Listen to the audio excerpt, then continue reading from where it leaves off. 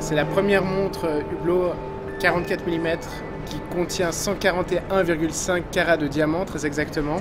C'est une pièce unique et euh, son prix est de 2 millions d'euros.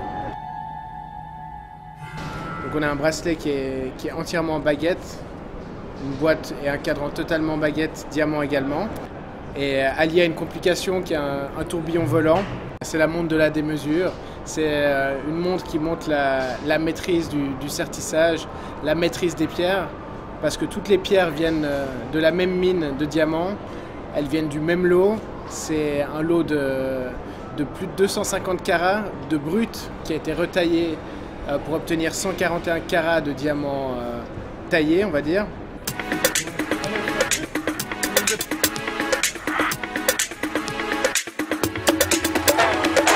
On a, vendu pas mal de pièces, 3 ou 4 1 million au, Moyen-Orient.